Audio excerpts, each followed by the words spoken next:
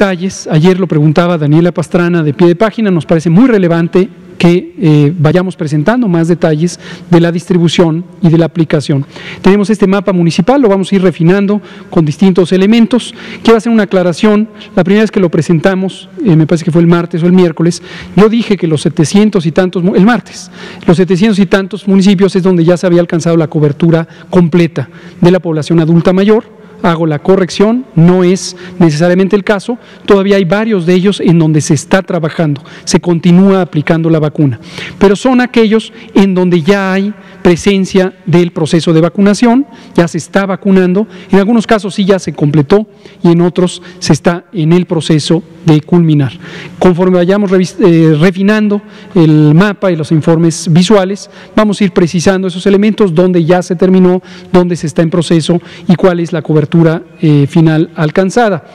Eh, de la presentación que hicimos el martes a hoy, se sumaron 311 a los 775, lo cual suma ya 1086. 1086 municipios donde se tiene ya presencia del programa de vacunación contra COVID y destaco el elemento de que tanto de los nuevos municipios que se agregaron del martes a la fecha, 311, como de los que son ya el agregado desde que se empezó a trabajar en la población adulta mayor en los municipios, noten ustedes la considerable uniformidad territorial. Y hago la advertencia de algo que podría ser de interés de ustedes como comunicadores y comunicadoras que comentamos ayer con las secretarias y secretarios de salud de la Comisión de Salud Pública del Consejo Nacional de Salud. Y es, en algunos municipios verán que hay una, superficie eh, amplia, Ensenada, por ejemplo, el municipio de Ensenada. Esto no debe confundirse con la cantidad de población vacunada. El municipio de Ensenada característicamente es el geográficamente o territorialmente más extenso del país. Entonces, cuando uno eh, pone el color que indica que ya se está trabajando en el municipio de Ensenada, parece como que todo este territorio está uniformemente cubierto o que este territorio es mucho mayor a, por ejemplo, este municipio. Sin embargo, en términos poblacionales, no necesariamente uno es más grande que el otro. Ensenada tiene la ciudad de Ensenada y otras ciudades del norte que eh, es donde se concentra la población. Casi todo esto es desierto, el hermoso desierto del Vizcaíno y otras zonas dispersas.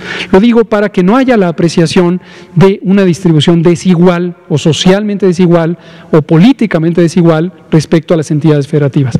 Vean ustedes, el estado de Oaxaca es el estado que tiene la mayor cantidad de municipios del país, tiene más de 500 municipios. Entonces, por eso, el estado de Oaxaca parece como casi sin cobertura. Chiapas tiene también una gran cantidad de municipios y parece como casi sin cobertura cuando se compara con Baja California. La explicación es esa, la distribución territorial de los municipios no necesariamente empata con la distribución poblacional. Y la asignación de vacunas se hace no por territorio, sino por la proporción de personas adultas mayores de cada entidad federativa qué porcentaje representa respecto al total de población de adultos mayores de 60 años en la suma poblacional del país. Y a todos les está tocando de una manera muy uniforme. En este momento estamos entre 22 a 25% en promedio para todas las entidades, con una excepción que comentó el presidente, que es Campeche, dado que en Campeche tenemos ya la cobertura de personal educativo y tenemos un grado de avance muy amplio sobre las eh, siguientes otras dos poblaciones, entonces nos interesa terminar el proceso más rápido de completar la cobertura para arribar a este proceso de apertura escolar.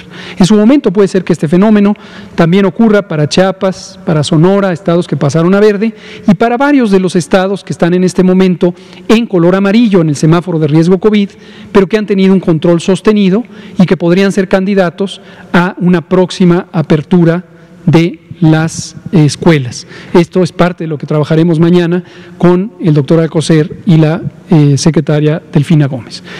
Pueden encontrar ustedes la lista de los nombres de los municipios que aquí aparecen en el mapa en ese sitio web vacunacovid.gov.mx.